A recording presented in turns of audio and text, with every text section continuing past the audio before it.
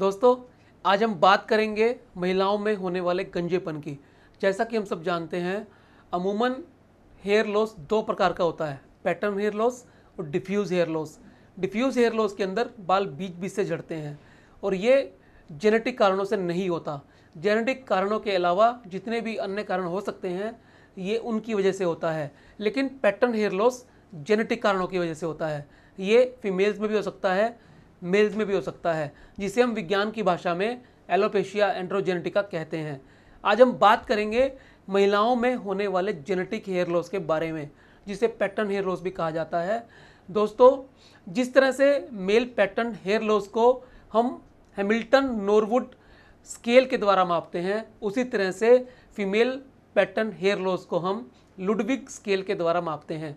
ये स्केल 1977 1977 के अंदर दिया गया था।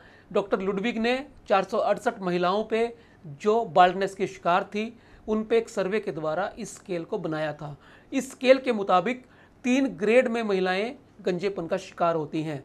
ग्रेड वन ग्रेड वन के अंदर महिलाओं में हेयरलाइन रिसीड होती है और मिड से, जहाँ पे मांग होती है सेंटर से सेंटर ऑफ़ द स्कैल्प से बाल थिन होकर थोड़े थोड़े कम होने शुरू हो जाते हैं और बीच बीच में गंजापन स्पेस नज़र आना शुरू हो जाता है।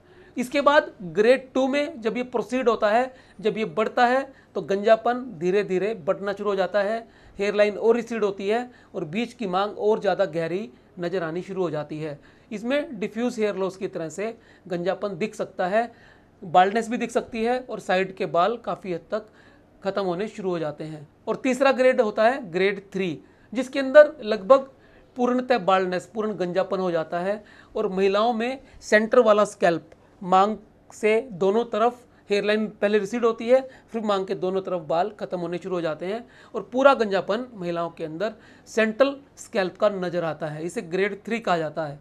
इस तरह से फीमेल पैटर्न हेयर लॉस तीन अलग अलग स्टेजेस में, तीन अलग अलग अवस्थाओं में होता है। दोस्तों, मैं बहुत सारे वीडियोस में आपको बता चुका हूँ कि जब बालों की जड़ें ख़त्म हो जाती हैं तो हमारे पास दो ही विकल्प होते हैं। परमानेंट विकल्प होता है हेयर ट्रांसप्लांट और आर्टिफिशियल विकल्प होता है हेयर पैच ये महिलाओं और पुरुषों दोनों में लग सकते हैं और बहुत ही सुंदर लुक इससे आता है। तो दोस्तों, इस तरह से सबसे अच्छा विकल्प फीमेल पैटर्न बालनेस के अंदर है हेयर ट्रांसप्लांट या हेयर पैच आज हमने चर्चा की फीमेल पैटर्न हेयर लॉस की अलग अलग स्टेजेस अलग अलग अवस्थाओं अलग अलग ग्रेड्स के बारे में।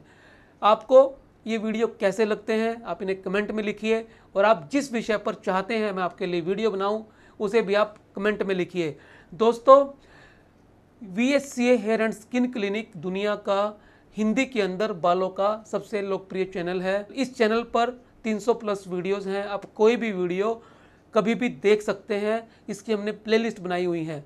Hair transplant hair patch hair wig laser hair removal trichoscopy herbal hair spa और जो भी चीज़ आप बालों के बारे में जानना चाहते हैं, जिस बीमारी का इलाज आप जानना चाहते हैं, जिस बीमारी के बारे में जानना चाहते हैं, वो सब इस चैनल पर उपलब्ध हैं। हर हफ़्ते दो नए वीडियो इस चैनल पर आते हैं और हर संडे मैं आपके प्रश्न लेने के लिए, उनका समाधान बताने के लिए आपके साथ 10 से साढ़े दस सुबह लाइव होता हूँ। आप उसके अंदर भी मुझसे मिल सकते हैं। मैं उम्मीद करता हूँ आपको ये चैनल्स और वीडियो अच्छे लगते होंगे। आप इसे लाइक करें चैनल को सब्सक्राइब करें नोटिफिकेशन बेल दबाना ना भूलें ताकि कोई भी वीडियो आपसे मिस ना हो। मिलते हैं अगले वीडियो में फिर एक नए विषय के साथ। तब तक के लिए नमस्कार।